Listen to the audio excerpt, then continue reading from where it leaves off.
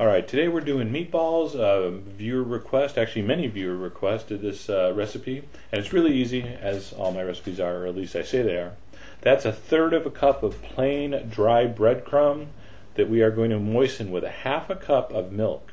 So give that a stir, let that sit for about 20 minutes. In fact, while you saute your onions, I'm about to show you, that will turn into a nice paste that's going to help bind the meatball, and also that milk, the enzymes and the acids are going to actually uh, make for a nice tender meatball.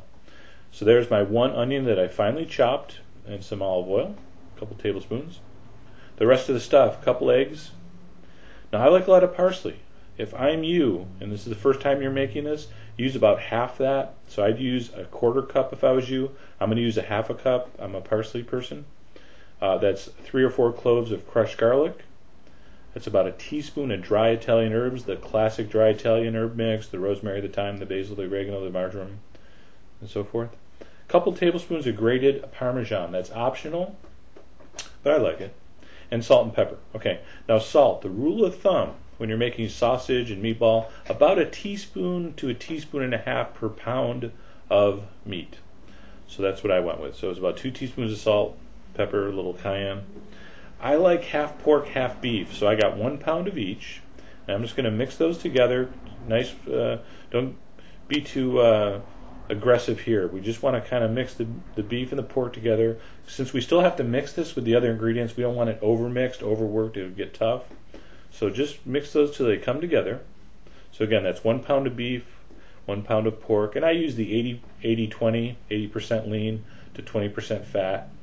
Uh, you need a little fat. There's no way around it. I know they sell that stuff like 95% lean now. Uh, you can use it, it just won't be as succulent. So, in about 20 minutes, my onions were lightly sauteed. All right, I added my breadcrumb and milk mixture, which in the same amount of time it turned into a nice paste. All right, and again, the onions don't have to be cold. Once you saute them, as long as they're not hot, you're fine. So add that to the the one pound of uh, beef and the one pound of pork, the onion and the breadcrumb mixture, and then the rest of the stuff goes in. Okay, so we're gonna go do the two eggs. I just give them a light little mixing with a fork. My half a cup of parsley. Again, that's more than standard. I would probably go with half that if this is the first time you're making this. I do like a lot of parsley.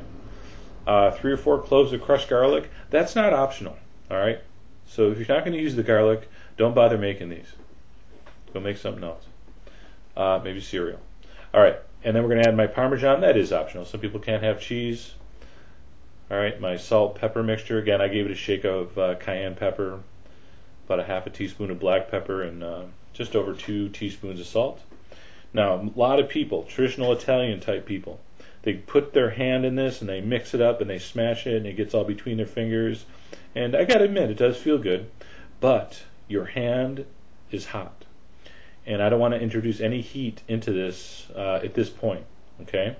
So I just want to give this a mix with my spatula or my uh, my wooden spoon if you have to. I just want this mixing enough just till it comes together. You don't want to overwork it, and you can tell. You can see when it's uh, pretty much there. Okay, which is right about there. So why am I still mixing it? I don't know. I should stop. Okay. Now what we're going to do is we're going to put plastic wrap over this and we're going to put it in the fridge. See, it's really soft now. I want it to firm up a little bit. I think it's easier to form. So you could start making meatballs now, but I think you should put it in the fridge for an hour. Come on, you can wait. You're probably making your sauce anyway. All right, hour later. It's been chilled.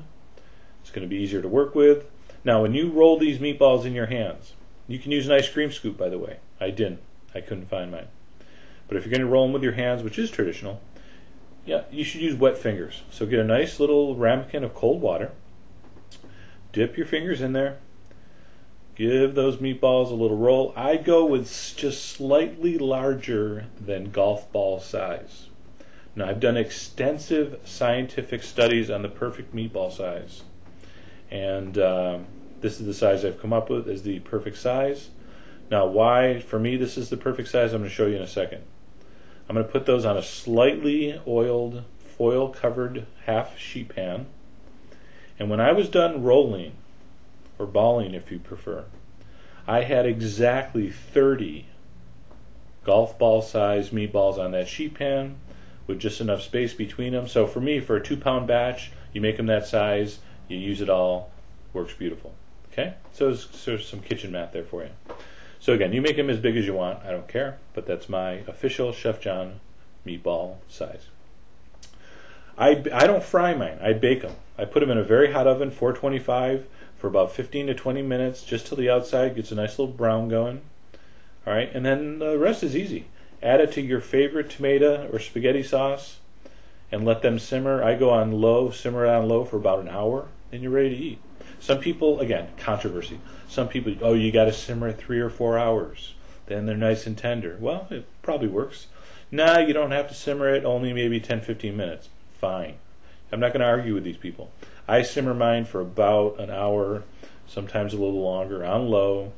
And again, if you're not going to use a really, really nice, flavorful, beautiful spaghetti sauce, you know, then your meatballs, it's actually going to suck the flavor out of the meatball. So I want you to use a really nice spaghetti sauce when you make your meatballs. That's what's one of the keys. And of course, I'll do that demo on the site. But there we go. Today was just about the meatball uh, for photography purposes. Of course, I had to grate some Parmesan on and uh, throw a few uh, pieces of parsley on top. But anyway, uh, that is my version of Italian meatball. Um, very nice, very tasty. Uh, I'm not going to say that's a spicy meatball because that would be a cliche. And anyway, the best thing about these, the leftovers, hot meatball sandwiches. Come on, forget about it. There you go, foodwishes.com. I hope you're checking it out. You'll see the recipe, the story, any anecdotes, and the extra info you need, along with the uh, ingredient amounts. Um, we haven't been posting in a while. Busy setting up the site, but here we go. We're back in business. Enjoy.